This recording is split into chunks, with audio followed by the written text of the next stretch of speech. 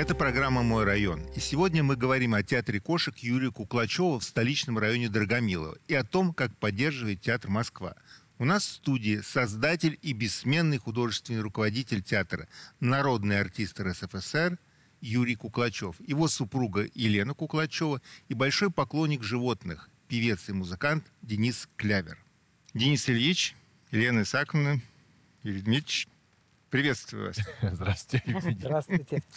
А, ну, прежде всего, я, конечно, должен э, высказать благодарность, что в такой день, день юбилея, вы с нами. Мы вас поздравляем. Э, я вообще считаю, что апрель – это э, такой месяц, который дал великих первопроходцев. О. Юрий Гагарин и Юрий Куклачев. Однозначно. Пе- Первые в мире. Один в космос полетел, другой... Еще я хочу добавить. Да. 12 апреля родился еще Юрий Долгорукий, основатель Москвы. И вся Москва сейчас есть- лучший город мира, украшай, украшения. Но вы знаете, 12 апреля, когда эм, в космос полетел вот, Юрий Гагарин и открывается вдруг окна, мне было 12 лет. Вообще слово, цифра 12. И я, радость какая. А, какое счастье. Я понял, что я в жизни не могу просто так жить. Я должен, как Юрий Гагарин, что-то совершить новое. Понимаете, у меня внутри такой огонь. Это такое пламя. Это такая поддержка была, такая психологическая. Знаете, тоже подхлестнула очень сильно меня. А в 12 лет у вас уже эм, были какие-нибудь питомцы? В 12 лет у меня только было желание э, поступить в цирковое училище. Э, после четвертого пытался, после пятого, шестого, седьмого, восьмого класса в цирковое училище. Единственная возможность ребенку, который с улицы, попасть в цирк, это через цирковое училище. И меня вот после восьмого тоже не взяли, представляете? Даже один учитель встал и сказал, мальчик, ты нам надоел. Больше сюда не приходи. Ты посмотри на себя в зеркало.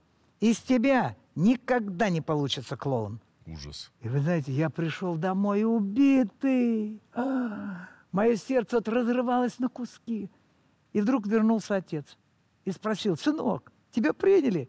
Я говорю, папа, в меня никто не верит, никто. Отец положил руку на плечо и тихо сказал, а я знаю человека, который верит в тебя. Я говорю, кто? Я, твой отец. «А, Вы знаете, вера отца и вообще отец в семье такую играет силой, обладает мощной энергией. Когда папа это мне сказал, я понял, что нет силы, которая пересилит меня. И я сказал, папа, у меня клоун не в лице, у меня клоун в сердце. И я пошел заниматься в народный цирк. Мне было 14, 15 и в 16 лет. Ой, по всему Советскому Союзу начали проводить конкурс художественной самодеятельности, посвященный 50-летию советской власти. Я выступил и победил. В 16 лет я стал первым клоуном Советского Союза среди художественной самодеятельности. И потом все-таки меня взяли в цирковое училище. И руководителем, моим художественным руководителем был тот учитель, который меня выгонял. Так, бывает. И четыре года потом он пытался меня исключить как профнепригодного. Денис, как раз когда Юрий Дмитриевич рассказывал про отца, Да. я же вспомнил, что Конечно. ваши родители легендарные, Илья Ленин. Они как раз вместе же вместе Да, учились. цирковой тоже. С дядей Юрой, да, в одном Четыре. цирковом 4 года. И я, в принципе, э, я человек, у которого в детстве была астма и аллергия на кошек. Вот, и мне так хотелось кошечку, но нельзя было. Даже одну взяли, я помню. А, Вот, но пришлось потом отдать. Но периодически, единственное, где я мог увидеть и порадоваться, это когда на гастролях папа пересекался с дядей Юрой, с с Светланой. И вот мы приходили на представление, и там наблюдали этот замечательный... Я всегда... Вот эта теплота, я сейчас смотрю на нее. 75 лет, на самом деле. Фанта- Сегодня? Сегодня, да. Я счастлив здесь оказаться. И огромного здоровья, дядя Юра, дорогой. Чтобы вот такой неиссякаемый огонь, и вот это ваше сердце. Вообще, кстати, слово клоун, может быть, те, кто не знает, это высшая классификация артиста. Елена Саковна, э, ваш супруг, ну, раз сто, если не тысячу, рассказывал, как появилась кошка, а мне хотелось бы из ваших уст верить показания. Мы Расскажите. работали в Шапито э, в городе Черкассы и шли к родителям Виктора Шамшур. И вот на обратном пути в парке плачет котенок. Мяу да мяу. Мы вроде бы проходим мимо, а говорит, давай остановимся, давай возьмем домой. И мы его взяли домой, помыли глазки, помыли его под умывальником.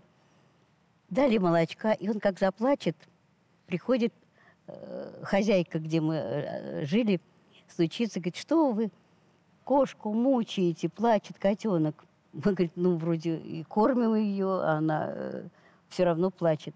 Говорит, что же вы за родители такие? Пошла на кухню, взяла из-под короб- коробочку из-под торта, насыпала песочку. И говорит, вот чего нужно малышу. И он сел, покопал ямочку и успокоился. Мы стали его брать на репетиции. И первая э, такая реприза с котенком, когда Юра выходил с большой конфетой. Его штормейстер спрашивал, что ты несешь? Конфету. А как твоя конфета называется? Что-то я не вижу надписи. Моя конфета называется кис-кис. Юра открывал, и оттуда выбегал котенок, бежал по, по барьеру. Ну, ему нравилось выступление, но Убегал, кошка появлялась, и сразу восторг. О, конечно, только конечно. появилась. Знаете, все, восторг. Думаю, надо что-то придумать. Хорошая идея вообще. А потом появилась стрелка. И мы решили э, к мальчику пригласить э, котенка-девочку. А вот он э, настолько был во внимании к Юре, он не хотел... Обиделся. Я скажу, что, конечно, кошки в нашей жизни сыграли огромную роль. Потому что, чтобы начать с кошками э, заниматься, выступать, мне пришлось изменить самого себя. Потому что я был вспыльчивый, Да. я был эмоциональный такой, громко говорил. Это не нравилось Кутьке, он уже прижимал, так что это папа кричит там. А я просто что-то рассказываю громко, не надо. Я тогда начал работать над собой. Знаете, вот, э, у Станиславского есть метод э, работа над собой, а- актера.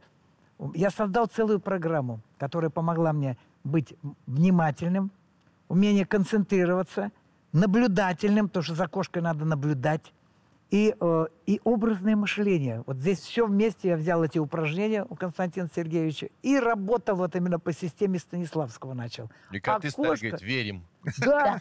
А вы А знаете, вот сейчас верим. А, вот, а котам нельзя не поверить. Они всегда делают... А Конечно. кошка Правда. делает все по системе Станиславского. Все естественно, органически. Она пребывает в этих, в любых обстоятельствах. Мы приходим, он- они сами подсказывают, что делать. Я прихожу на кухню, смотрю, она спит в кастрюле. Я говорю, ты что делаешь? Выходи, я из кастрюли, она опять в кастрюле. Ой, Я начал ругаться, а мне супруга говорит, Я «Да говорю, ты Юра, что?» ну зачем ты прогоняешь котенка?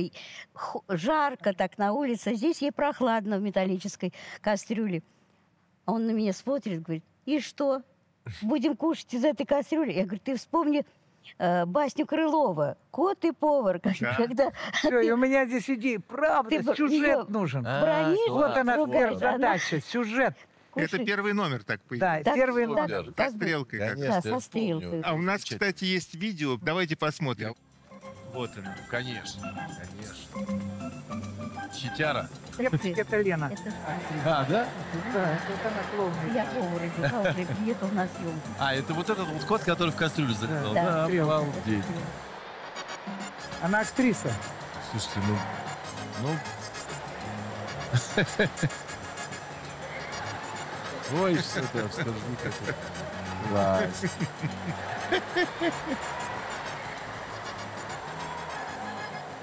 Сейчас будем сюда.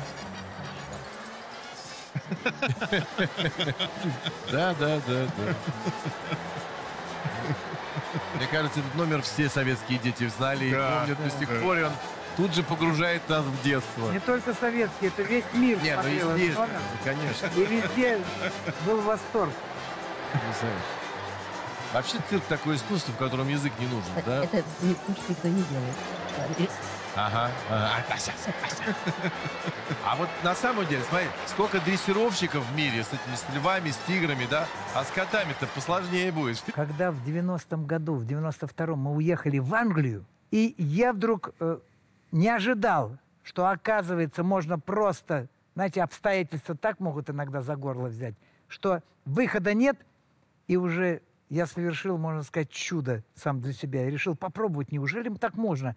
Я наловил на улице, моих кошек не пустили в Англию, я наловил на улице кошек и сделали с ними театр Обалдеть. уникальный номер, но я больше не могу за границей жить, я там умирал, все. И Димочку поставил. Димочка, давай ты. Ему было 14 лет. Дали рабочую визу, он там выступал. Принцесса Диана была на спектакле, вручил ему золотую кошку. Его признали лучшим номером Ан Британии, представляете? Такой успех. Вдруг мне звонит, говорит, папа, не надо ни денег, ничего, говорит, «Ха- домой хочу. И я тогда прилетел, забрали все, и у нас появилось в театре два состава кошек. Меня спрашивают, ну как, у вас сейчас все хорошо? Все хорошо. Сергей Семенович дал нам денег, мы капитальный ремонт провели. А, У нас сейчас для кошек хрустальный замок, кошачьи апартаменты. В театре мы сами сделали единственный в мире музей кошек. Все породы мира, представляете? Все, вы придете в театр, это такое еще... У нас документально мы числимся детский театр. Но где это никакого отношения к детям не имеет. Почему? семьи. Потому что мы делаем серьезные спектакли. Дима, э, Вот режиссер где драмы, живут кошки. он драматический спектакль с кошками. Там, да? Мгм. Вовочка, тот балет с кошками. Представляете, Катя, художник, Академия Как художественная, раз показывают с апартаменты. кошками. Вы представляете, да, вот он хрустальный замок. Представляете, там 200 кошек у нас, запаха никакого. И вы представляете, и дети настолько вот идут, играют. дети меня радуют, что мы решили 12 апреля, свой юбилей, вот сегодня мы Да. уникальное шоу создали, где я работал в цирке. Мы звезды артистов Пригласили. цирка пригласили. Эстрада, я на эстраде. Да, в этом году я 60 лет моей творческой деятельности. А самое главное, я хочу сказать, мы вот с моей супругой уже 54 года вместе. Так. Понимаете? Это во-первых. А во-вторых, это очень важно. Она подарила мне трех ангелов.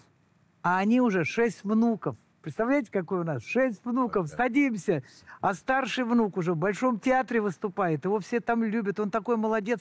Он же не просто га- батманы, пируэты. Он еще может рандат фляг задний делать. Представляете, на сцене Большого театра, как сделает дорожку все. Это настоящий. Вот его там молодец.